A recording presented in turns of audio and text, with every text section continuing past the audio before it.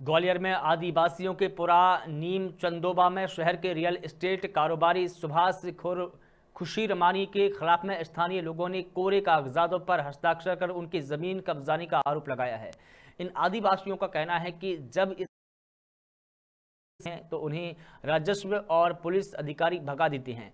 SP की जन सुनवाई में आदिवासी पुरा के कई ग्रामीण महिला पुरुष एसपी से मिलने पहुँचे थे। उन्होंने कारोबारी के आतंक से मुक्ति दिलाने की मांग की है। दरअसल, गिरबाई थाना क्षेत्र के नीम चंदोबा गाँव में आदिवासियों का एक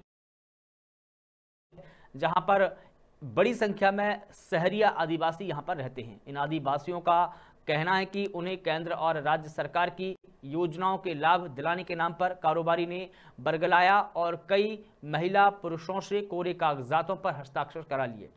इसके बाद लगभग 50 बीघा ज़मीन पर बाउंड्री वॉल बनवाने की कोशिश की। इसका ग्रामीणों ने विरोध कर कार्य को रोका। मामले में पुलिस का कहना है कि इस मामले में राजस्व अधिकारियों की रिपोर्ट ली जा रही है। यदि उसमें किसी के भी खिलाफ में तथ्य सामने आते हैं तो ज़रूर कार्रवाई की जाएगी। हमारी बाउंड्री कर हम रोकवे सो बच्चा नमाज़ दंग और तेरी नाना मेरी है। पूरी ज़मीन पर कब्जा कर रहा किसने कर लिया बालन सिंधी ने।